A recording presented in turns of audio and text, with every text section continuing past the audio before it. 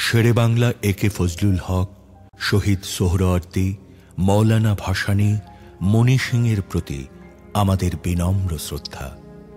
আমরা গভীর শ্রদ্ধা জানাই হাজার বছরের শ্রেষ্ঠ বাঙালি, জাতির পিতা বঙ্গবন্ধু শেখ মুজিবুর রহমানকে।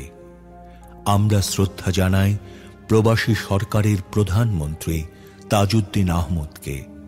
আমরা শ্রদ্ধা জানাই একাত্তর পূর্ব ছাত্র নেতাদের, যারা বান্ন, বাষট্টি, ছেষট্টি, ঊনসত্তরে গণ আন্দোলনের সৃষ্টি করে বাঙালি জাতির স্বাধীনতা ও মুক্তির সংগ্রামে বঙ্গবন্ধুর পাশে ছিলেন। আমাদের বিনম্র শ্রদ্ধা রইল তিরিশ লাখ শহীদ ও পাঁচ লক্ষ নির্যাতিত মা বোনের প্রতি। আমরা শ্রদ্ধা জানাই বীর মুক্তিযোদ্ধাদের যারা স্বাধীন বাংলাদেশ সৃষ্টি করতে শহীদ হয়েছেন। আমরা শ্রদ্ধা জানাই লক্ষ লক্ষ মুক্তিযোদ্ধাকে যাদের বীরত্বের কারণে আমরা স্বাধীন বাংলাদেশ সৃষ্টি করতে পেরেছি। আমাদের গভীর শ্রদ্ধা রইল একাত্তর সালের সেই জনগোষ্ঠীর প্রতি, যারা সীমাহীন কষ্ট ও নির্যাতন ভোগ করে মুক্তিযুদ্ধের প্রতি অনুগত থেকে মুক্তিযোদ্ধাদের সর্বাত্মক সহযোগিতা দিয়ে স্বাধীন বাংলাদেশ সৃষ্টিতে ভূমিকা রেখেছেন। এদের সবার কাছে আমরা ঋণী। হাজার বছরের শ্রেষ্ঠ বাঙালি, জাতির জনক, বঙ্গবন্ধু শেখ মুজিবুর রহমানের কাঙ্ক্ষিত বাঙালি জাতীয়তাবাদী চেতনার বিকাশ, শোষিতের গণতন্ত্র, শোষণমুক্ত, বৈষম্যহীন সমাজ, মানবিক মূল্যবোধ, সামাজিক ন্যায় বিচার সামাজিক, অর্থনৈতিক, রাজনৈতিক সাম্য প্রতিষ্ঠা করে জনগণকে ক্ষমতার প্রকৃত মালিক করে আমরা এদের ঋণ শোধ করতে পারি।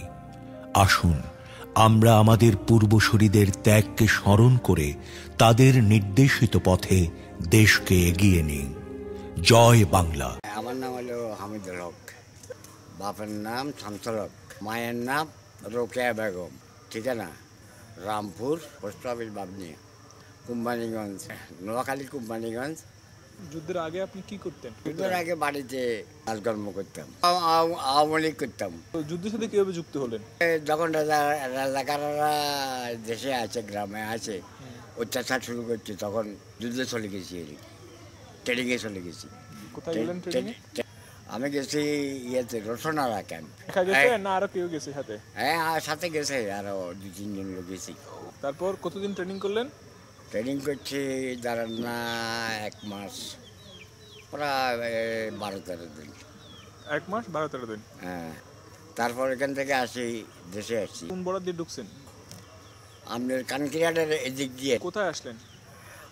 আপনার এই সম্মানের এদিক দিয়ে আসছি আসি দেখি ওখান থেকে ঢুকছি। কয়জন ঢুকছেন কয়জন? আমরা? আমরা এই বাইশ তেইশ জন ছিল মানে আপনাদের গ্রুপ গ্রুপটা আর কি? হ্যাঁ গ্রুপটা। গ্রুপে। বাইশ জন তেইশ জন ছিলাম। আপনার গ্রুপের কমান্ডার কে ছিল? আমাদের গ্রুপের কমান্ডার ছিল আমাদের আমাদের ব্যায়ামগঞ্জের আনসার।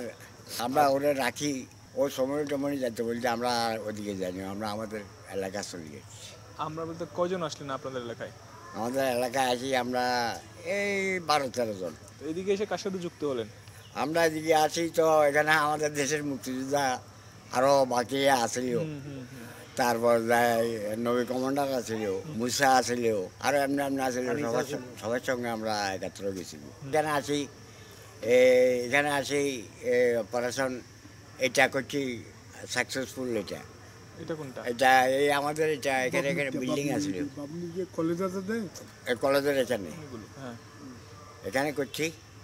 তারপরে এখানে করি এদেরকে এই সারেন্ডার করাছি প্রায় চব্বিশ পঁচিশ জন রাজাকার।